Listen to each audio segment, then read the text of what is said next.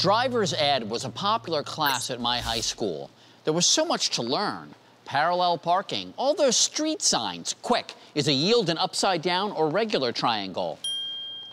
But driver's ed of the future may be a very short class. I mean, how long does it take to learn get in the car, now read a book? Alie Ward explains. When you're young, driving a car is the coolest thing ever.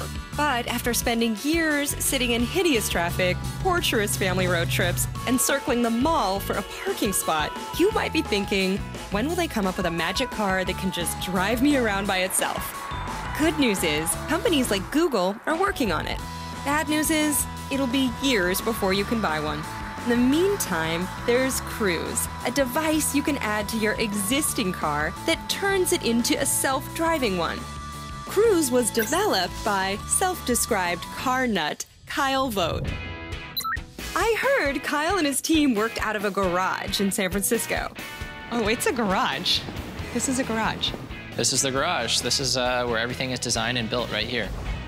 I've been interested in automotive technology since I was at least 13. That was the first time I actually tried doing a self-driving car. I built this car mm-hmm. and put a computer and a webcam on it and taught it to drive following the yellow line in a parking lot. Kyle works with a group of engineers building each cruise unit.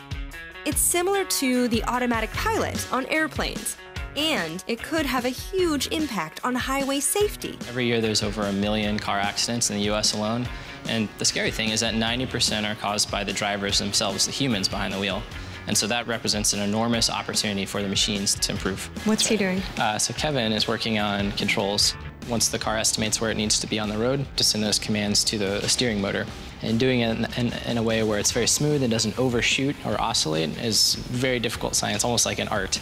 These are the computer vision guys. Um, they figure out what's in the camera image, where the lane markers are, and try to figure out where the vehicle is relative to the road. Okay, so Kyle, I'm looking at this and I can tell that it's cruise related, yes? This is it, yeah. And we call this the sensor pod. So all the sensors that this vehicle needs to drive itself are in this one unit here. So it's got the cameras, the radar, and the GPS all in this box. The next part of the system is the drive-by-wire interface, which you can't really see, but we've installed underneath the steering column so we can control your steering wheel, your gas pedal, and your brake pedal while the system's running.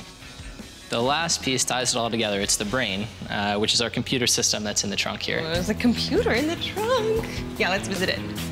Thinking back here. Ah, that's it? Yep, here it is. So yeah, everything, all, all, the processing is done right here. This computer uh, takes in data from the sensors, from the sensor pod, and sends out signals to the actuators to drive your car, and that's it. All right, so now that we know how it works, can we take it for a drive? Yeah, let's take it for a spin. Okay, good. I'm like a tiny bit scared, like the tiniest bit, because no one's driving the car. Are we ready to go? We're ready. Welcome to cruise. Yeah. It just welcomed us. Yeah, so that's it's telling us it's it, everything's good and we're ready to go. So I'm gonna give it a shot here and see what happens. All right. Oh my gosh! Oh, it's haunted with science. Oh my gosh, it's like twitching. Mm-hmm. Yeah, it's just making minor corrections as it notices us drifting to the left or to the right. Wait, you're sitting. Your feet are not on any pedals. Your hands are not on any wheels, and we are going down the freeway at 60 miles an hour. Yeah, we're cruising. Right now, Cruise is only meant for driving on highways. Since it's not a fully automated car, it falls under the same regulations as your car's cruise control.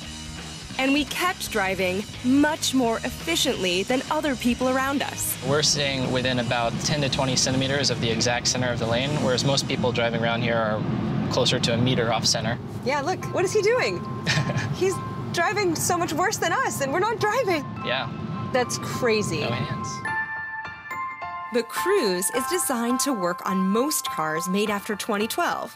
And kits will be available starting next year. The technology we have on this car is designed in a way that it would be easy to move it from one car to another. So the computer won't change, the sensors won't change, just the way they're mounted in the car. Cruise disengage. I'm ready to go. Bye. Bye. Does she have a name, that lady? Uh, no, we haven't named her. What? Her name is Leslie. Leslie's good. Okay. Yeah. Thanks, Leslie.